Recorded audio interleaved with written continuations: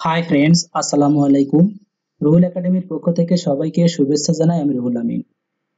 Basic web design সিরিজের এই ক্লাসে আমি এখন দেখাবো কীভাবে উপরে দেখুন বাই ডিফল্ট একটা মার্জিন চলে আসে। মার্জিনটা কীভাবে রিমুভ করতে হয় এবং এখানে কীভাবে হেডিং ট্যাগ ইউজ করতে হয় এবং তার নিচে একটা ইমেজ ইউজ করতে হয়। দুইটা কলামের জন্য দুইটা হেডিং ট্যাগ কি করে তার নিচে কি ইমেজ ইউজ করতে হয় এবং সেই ইমেজটা হবে প্লেস হোল্ডার ইমেজ সেটা দেখাবো।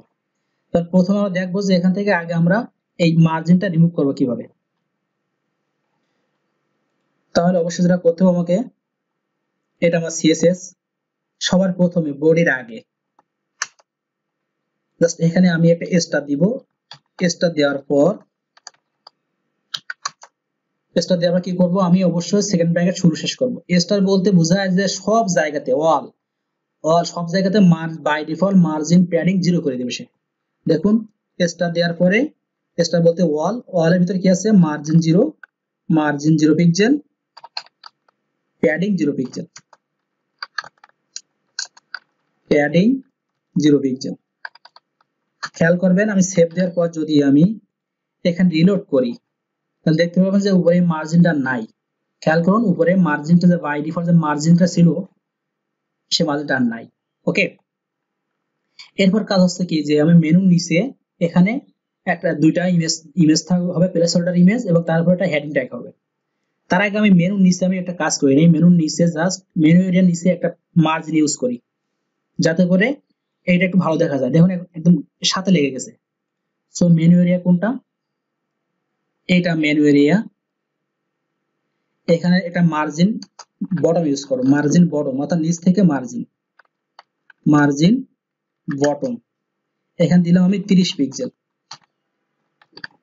এখন সেভ দেওয়ার পর রিলোড করে তাহলে দেখবেন এখানে 30 পিক্সেলের একটা গ্যাপ হয়ে যাবে। খেয়াল করুন, এখানে 30 পিক্সেলের গ্যাপ হয়ে গেছে এবং দেখতে সুন্দর লাগতেছে।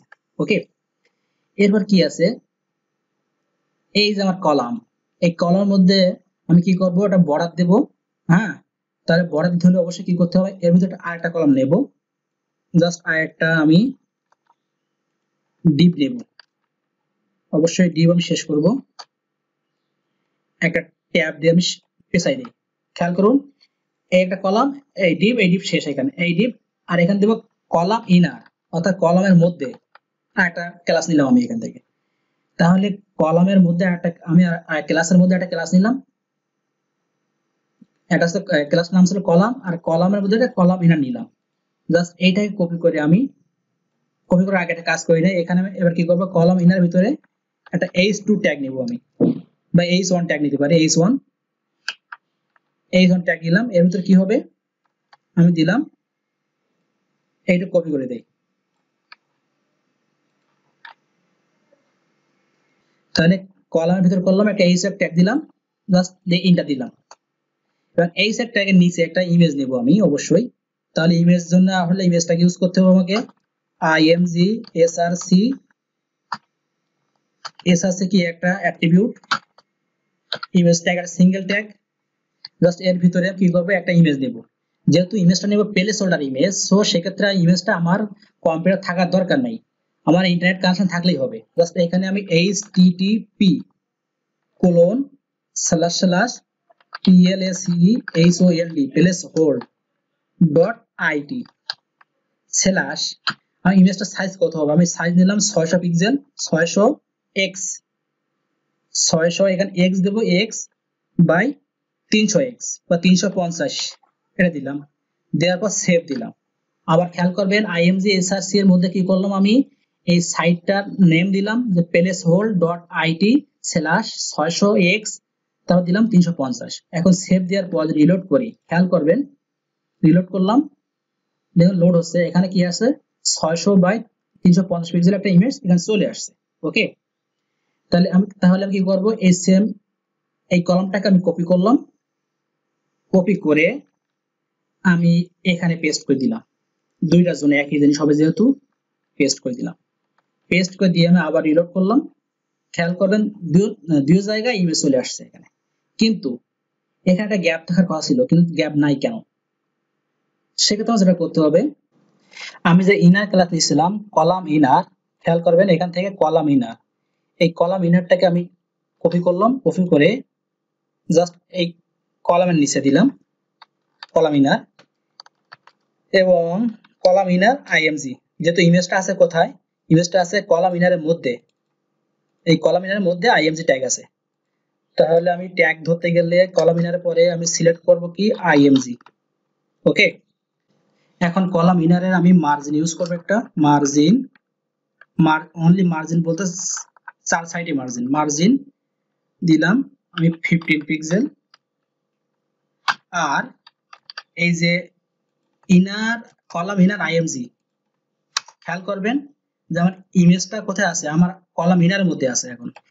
আইএমজি এর প্যারেন্টস হচ্ছে কলাম ইনার কলাম ইনারের প্যারেন্ট হচ্ছে কলাম আর কলামের প্যারেন্ট হচ্ছে কলাম এরিয়া ওকে তাহলে আমি যদি আমি যদি এখন ইমেজটাকে আমি সিলেক্ট করতে চাই, তাহলে কি হবে? কলাম ইনার আইএমজি সেটা আপনি আগে পিছিয়ে যে কোনো দিতে পারেন। আমি এখানে দিচ্ছি বলে আপনাকে দিতে হবে এমনটা না। আপনি এটা অন্য জায়গায় ইউজ করতে এখানে ইউজ করতে পারেন।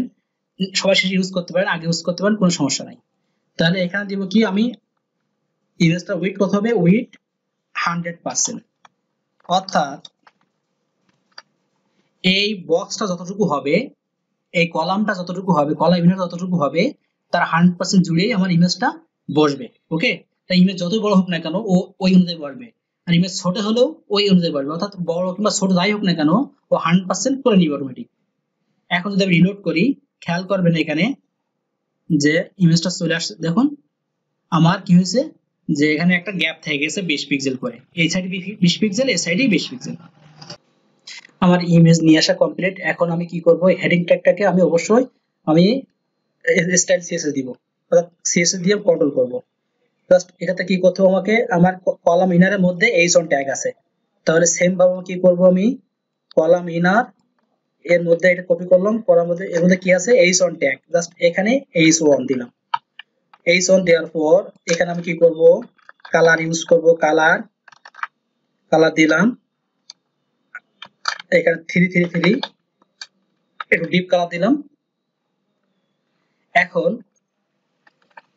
এরপর আমি ফন্টের সাইজ দেব। তার আগে আবার দেখাই নেই। এখানে এটা কলাম ইনারে এর চাইল্ড হচ্ছে আইএমজি আইএমজি এবং এইচ ওয়ান তাই আমি এখন এইচ ওয়ানটাকে সিলেক্ট করতে আসছি সো এইচ ওয়ান দিলাম ফন্ট সাইজ দিলাম ফন্ট সাইজ আমি দিলাম বিশ পিক্সেল বিশ পিক্সেল লাইন হাইট দিলাম লাইন হাইট পঁয়ত্রিশ পিক্সেল তারপর ফন্ট স্টাইল দিব ওখান থেকে। Font style font font style normal use করব আমরা।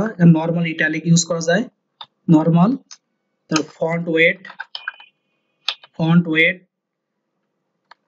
font weight দিব বোল্ড দিতে পারি। বোল্ড সেভ দিলাম। সেভ দেওয়ার পর যদি আমি আবার সাইটটা রিলোড করি, খেয়াল করবেন, দেখতে পাবে এখানে যে আমার এখানে ফন্টের সাইজ হয়ে গেছে। এখানে আমার লাইন হাইট বা ফন্ট ওয়েট সবকিছু হয়ে গেছে। জাস্ট এখানে আমি ফন্টের সাইজ একটু বাড়িয়ে দেই। জাস্ট পঁচিশ পিক্সেল দিলাম। সেভ দিলাম। সেভ দেওয়ার পর আবার রিলোড করি।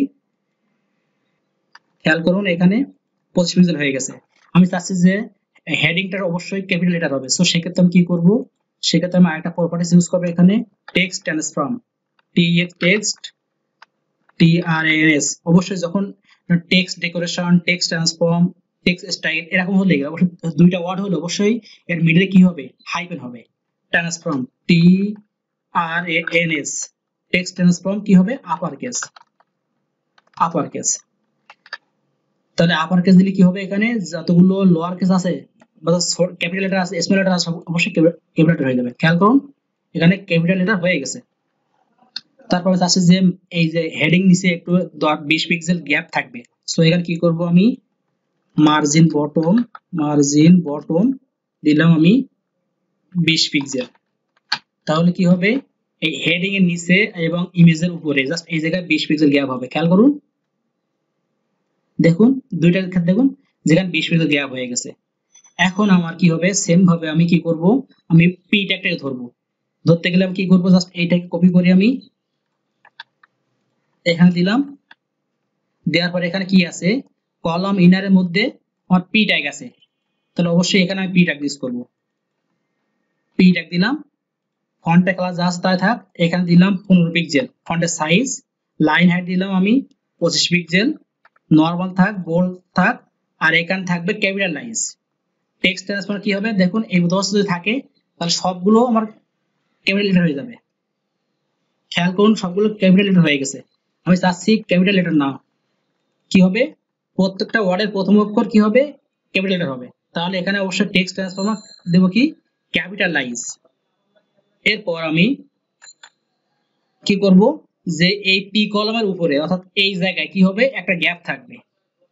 তাহলে কি হবে? পির উপরে। তাহলে অবশ্যই এখানে হবে মার্জিন টপ টপ সেভ দিলাম। সেভ দিয়ে যদি আমি রিলোড করি, এখন যদি আমি সেভ করি, আমার সাইটটাকে রিলোড করি, দেখতে পাবো এখানে সবকিছু প্রপারলি দেখা যাবে। খেয়াল করুন। এখানে আমার ফন্টের সাইজ ক্যাপিটালাইজ তারপর font style font height height সব ঠিকঠাক আছে। ওকে তাহলে ফ্রেন্ডস আজকের ক্লাস এ পর্যন্তই। পরবর্তী ক্লাস দেখার আমন্ত্রণ জানিয়ে এখানে শেষ করছি। সবাই ভালো থাকবেন, সুস্থ থাকবেন।